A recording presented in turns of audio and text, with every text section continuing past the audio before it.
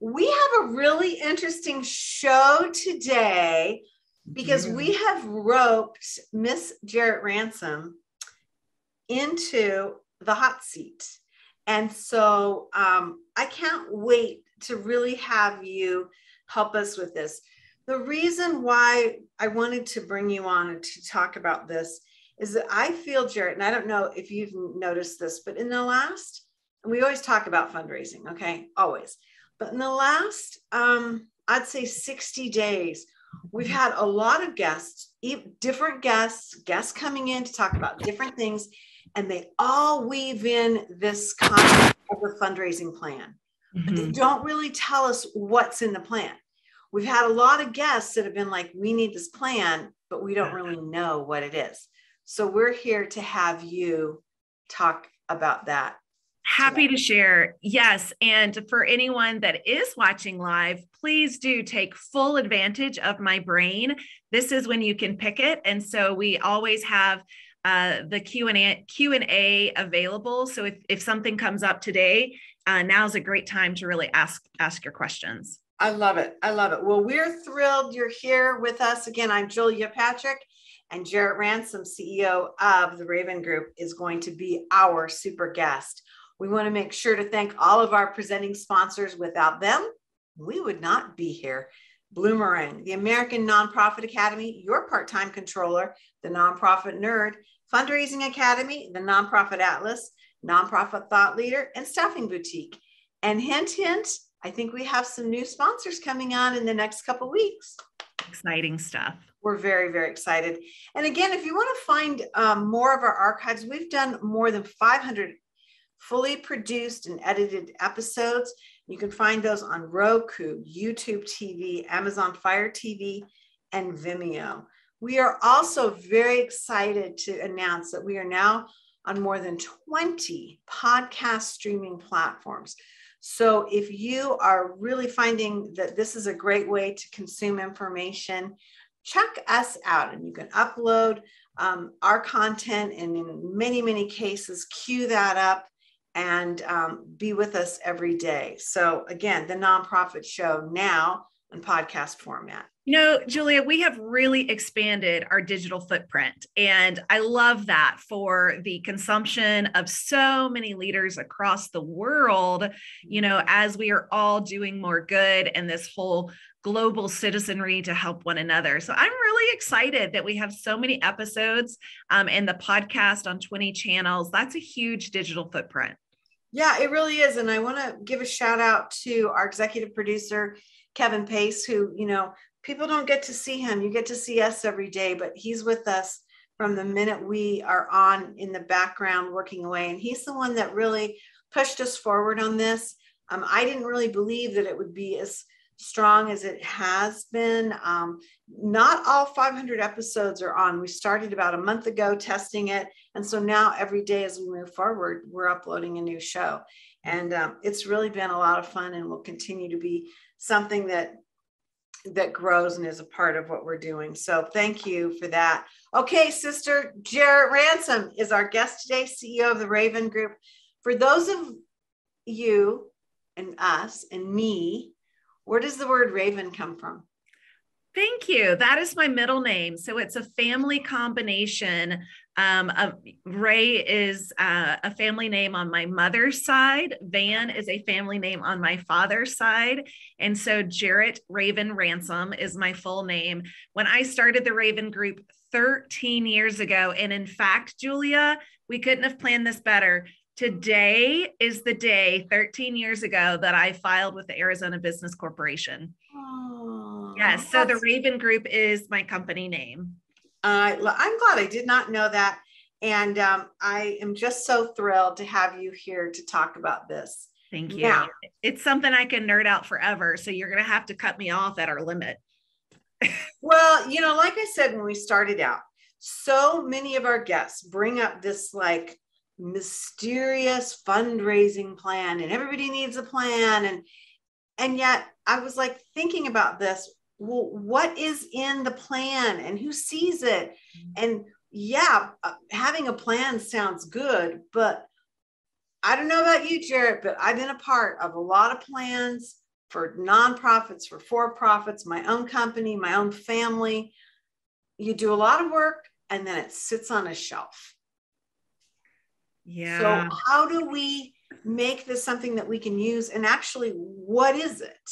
Right. Well, and this really is, um, you know, it's a moving, breathing, living document. So it's really, you know, I want everyone to create a plan, which means you have preemptively thought about how you are bringing in revenue for your organization, hopefully diversified revenue streams. And we can get nerdy about that. And I know, Julia, you're going to ask me statistics and numbers and all of that good stuff. And I hope that I can retain them.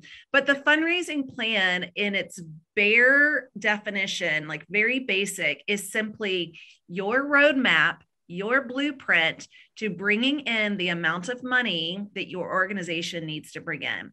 For most of us, let's say you are a $3 million organization that would be your operating budget. So your operating budget is 3 million. We all have to zero balance our budget at the end of the year. So you're essentially looking to raise 3 million or bring in 3 million from sources. It could be earned revenue, it could be grants, it could be individual donations, it could be events, it could be planned giving.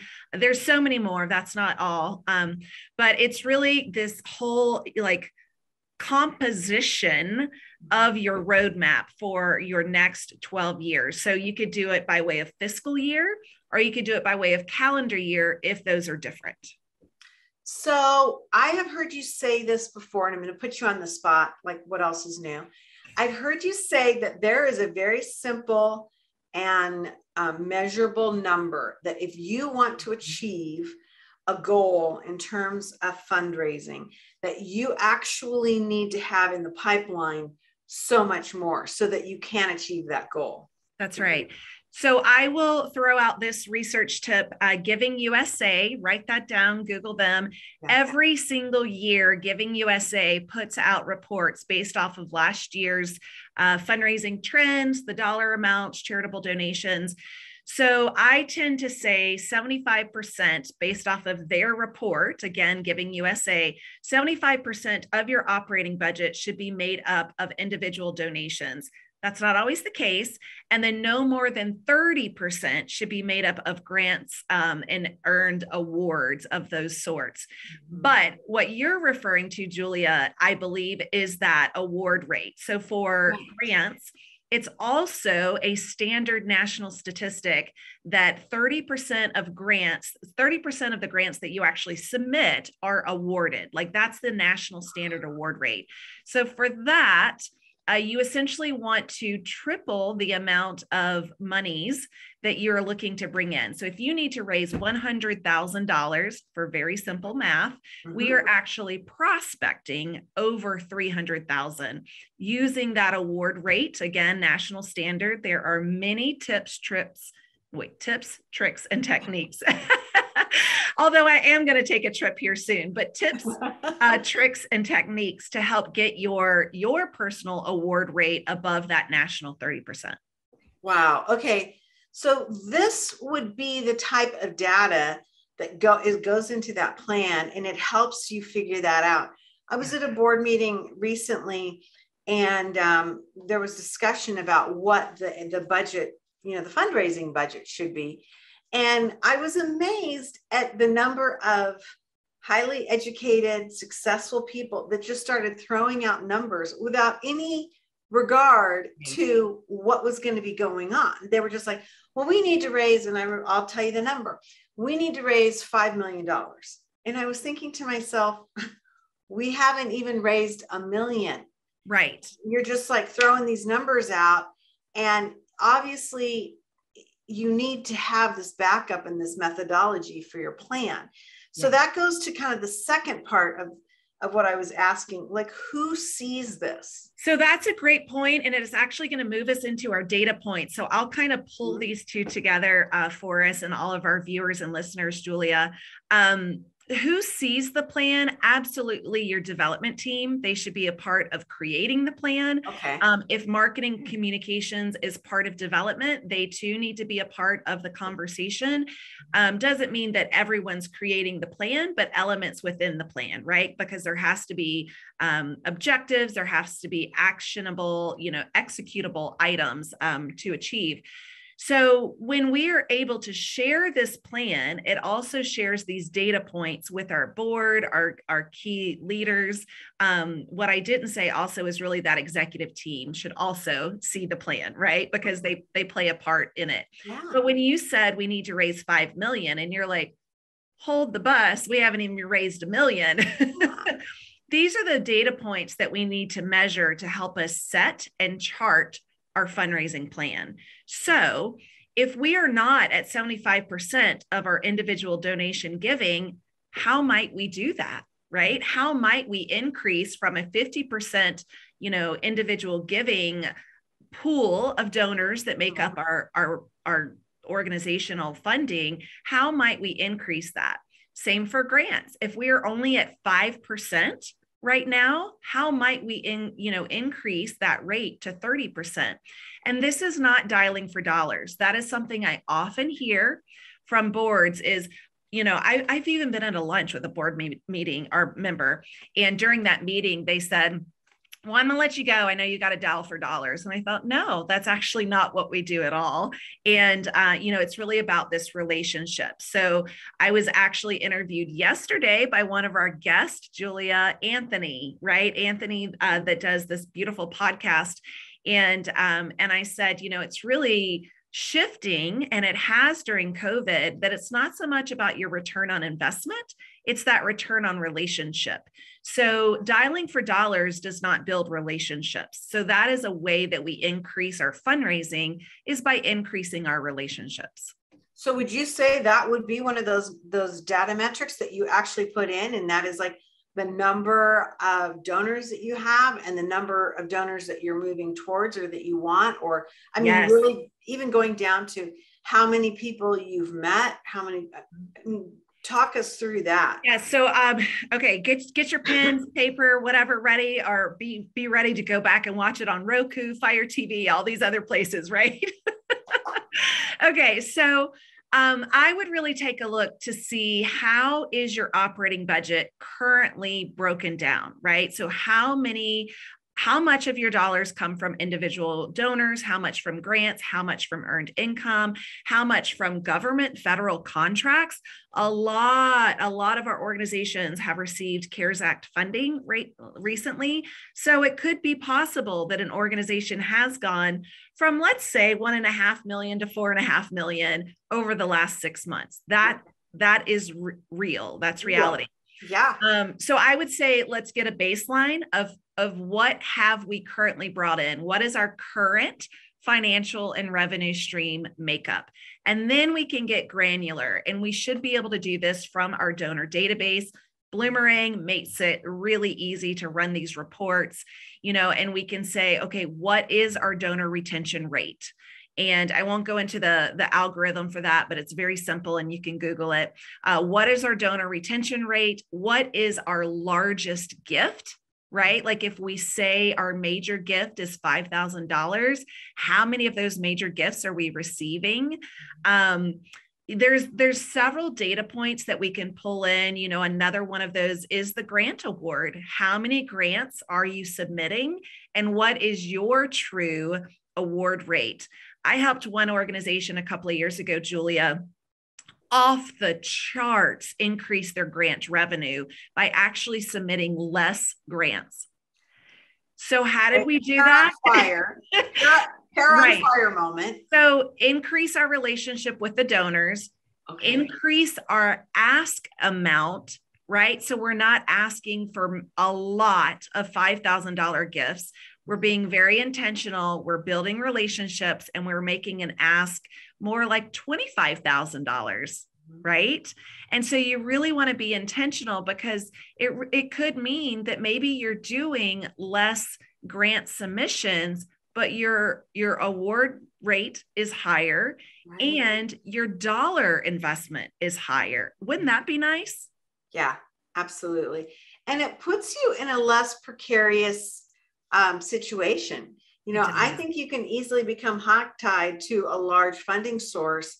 And then sometimes you chase that shiny object, the money, and you do things that aren't really in the wheelhouse, that don't really align to your mission. You know, sometimes we call that mission creep, but a lot of it is is generally financially motivated because you you kind of dance to that dollar right? That's right. You you do. And you know we also need to be able to say no to a funder or an investor or even a grant opportunity yeah. if it's not in alignment or if it's not as in part of our plan right? Mm-hmm. and so we need to we need to create that ability. You know that's a muscle that we need to practice is saying no. Right. I love that. Um, i have a question that that um, has been kind of bubbling up from me. And that is, and I've heard this from some of the questions that we've received um, for our Friday Ask and Answer episode. And I think sometimes we talk about some of these strategies and they sound really good, but then some of our viewers go back to their teams and they're all amped up, they're really excited, and they're like, hey, we got to get this going. And then it's like, yeah, we, we don't have time. Is this the sort of thing that you could do individually for yourself if you can't get the bigger group on board? I'm mm-hmm. thinking of a development officer or somebody that is, you know, maybe leading a small team, or maybe it's just themselves. Can you do this type of thing and still Absolutely. And in fact, I love um, coaching this and working with teams to do this. So you can work as an entire development team and mm-hmm. set the chart for your course moving forward. And you can break down every individual as part of that team to create their piece of the roadmap for the chart and you know very similar to that work with that one individual to say okay maybe you're a startup nonprofit or maybe you don't have the support that you would like to have or perhaps your CEO or executive director is not very fond of fundraising. And so they just say you know you do that. You do that Julia I trust you to bring in this money. I don't know how it's going to happen. It's going to fall from the sky and it's going to be there. Um, so these are absolutely ways in which you can create this. Um, and I'll just go through this this very quickly. How much money is it that you want and need to raise by the end of the year? Now, if you watched any of my previous um, episodes where I am uh, kind of the master class, I like to set three levels a good, a better, and a best goal. Okay. So you let's say you want to raise a million dollars. Your good goal, you know, would be something less than that, halfway, and then kind of a, a big stretch goal. And then you're going to create from there what does your quarterly benchmarks look like? So we're reverse engineering. This is our end goal, reverse engineer into quarterly, and then keep going into monthly and then into weekly. So that could look like you know, every quarter I want to have, you know, 20 face to face meetings with my uh, supporters. Well, what does that look like then every month and then every week? Love it. I think that's really smart because too often in a plan, you wait until that 11th or 12th month and then you're like holy cow i got to get back i got to get that out and see where i am and you know it's right. it's too late and then if you're not near it or you're not in it, you're just devastated. Well, I'm speaking for myself. I get overloaded and devastated. It is devastating. I'm like, yeah, I'm like, screw that. That was a bad plan. Long way to go. Hey, right, Pat, right. Pat writes in one of our viewers. We also use our annual SWOT um, program, and that stands for Strength, Weakness, Opportunity, and Threats, to assist us in developing our goals, such as a strategic plan. What do you think about that, Jarrett? First of all, hello, Pat. I'm so glad that you're you're joined us today. Um, I do really enjoy the SWOT. I would add another T, and that T stands for trends. So, what is trending that you're seeing? What is trending in fundraising? What is trending in your community? political climate all of that takes a toll when it comes to fundraising and um, and that's I, definitely something to consider I love doing the SWOT for strategic planning, but we could also do that in a very granular level when it comes to fundraising and to create a fundraising plan. So, why not? I think, you know, any of these resources that you can start to glean and really analyze your strengths, your weaknesses, your opportunities, your threats, and your trends. I'd love to see you add that in there, Pat. Uh, I think that really does help us just start at the basics of knowing, right? Knowing what do we have what are our resources um, maybe a weakness of your of your plan is your donor database right? Well, what do we need to do to increase that and remove it from our weakness into an opportunity for it to be a strength the next time? Right.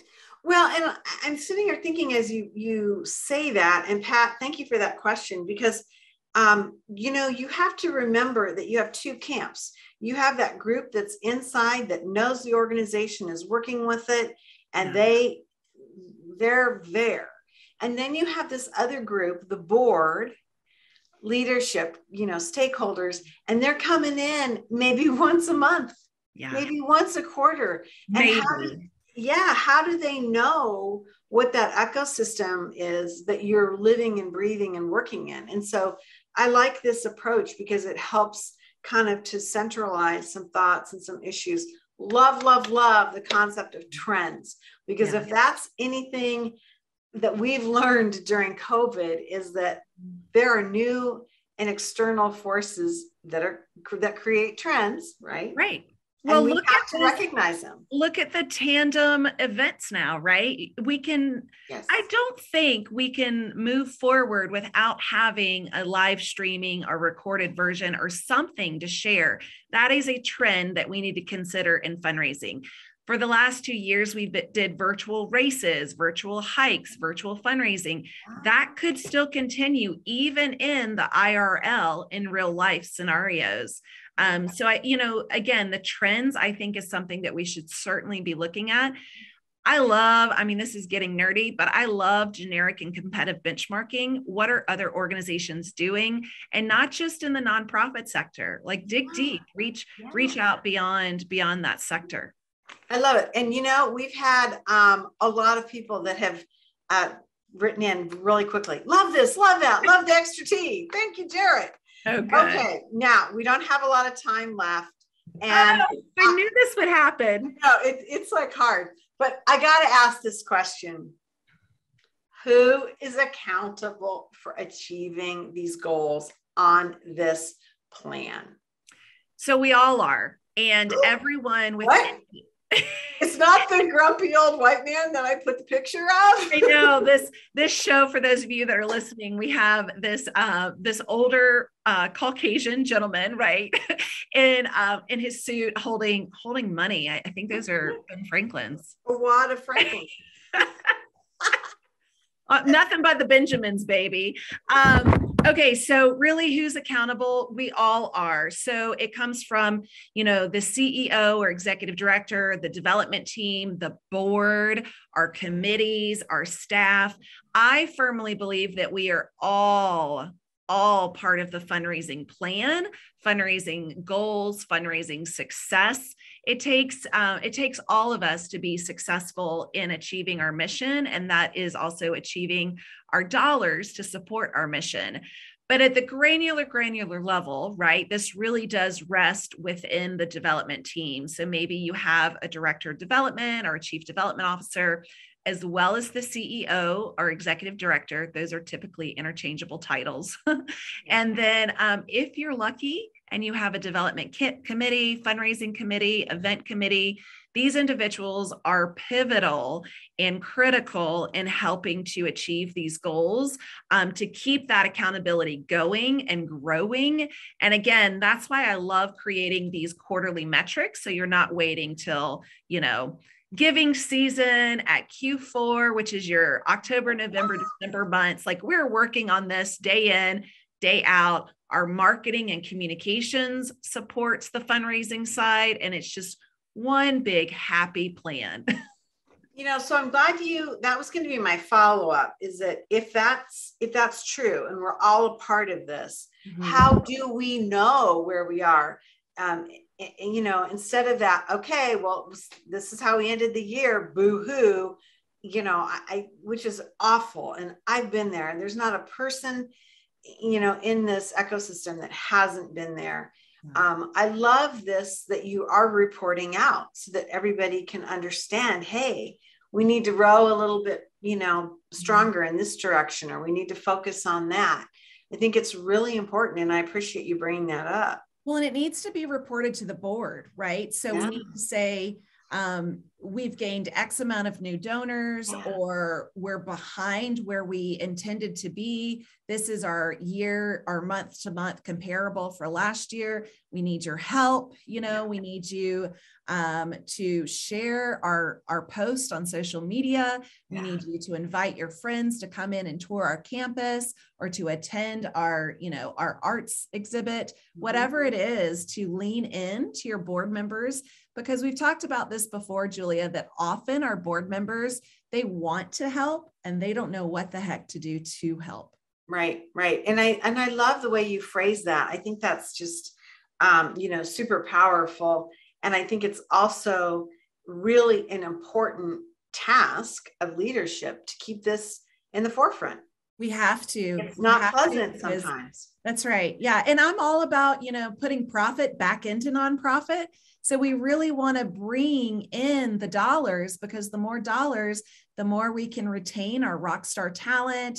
Mm-hmm. We can, you know, increase our technology and our software systems that maybe haven't been updated in decades plus. Mm-hmm. Um, so let's look at those those big dollar signs. And yes, let's raise that five million, but we need a plan to get there. I love it. You know, I'm always and I'm not just saying this, I'm always amazed at how much is in that little blonde head of yours. It's like, it's really cool. And I learn something new from you all the time. Um, for those of you watching or listening to the show, you know, Jarrett and I are almost 20 years in uh, age difference. I know, clutch the pearls. Um, and I always learn from you, and I'm always inspired. And you tend to bring me information that I feel like I can achieve because you break it down, you make it method, uh, you, you align it to a methodology and a reasoning, um, and you make it more natural. So, hey, good job, nonprofit nerd. Jarrett Ransom, CEO of the Raven Group. Um, if you like what you've heard today, you can actually see and hear from Jarrett every day because she is the co-host of the nonprofit show, and she is the brave soul that did not turn me away when I called her up and I said, Hey, sister, I got this crazy idea. It'll only last two weeks because this COVID thing will be over in two weeks. You want to do this daily show? And she's like, Yeah, sure. And then here we are going into our third year. I still say yes every day, Julia. I love it. you do. And I appreciate that, Jarrett. I love it. Today has been great. I've really, really learned a lot. And thank you for reframing this concept of a fundraising plan because we bandy this word about, and there's so many guests that have come on and that will come on and talking about this plan. You need the plan, you need the plan. And to talk about, well, what the heck is in the plan and how do we manage it? Has been really magical thinking. So thank you. Hey, everybody, we want to make sure that we extend our gratitude and thanks to Bloomerang, American Nonprofit Academy, your part time controller, the nonprofit nerd herself, Fundraising Academy, the Nonprofit Atlas, Nonprofit Thought Leaders, and Staffing Boutique. Again, these are the folks that really um, let us have this moment in this time to reflect to teach and exchange ideas. And we are very, very grateful for that support. As we like to end every show, what do we like to say, Jarrett? We hope that you stay well so you can do well. We'll see you back here tomorrow.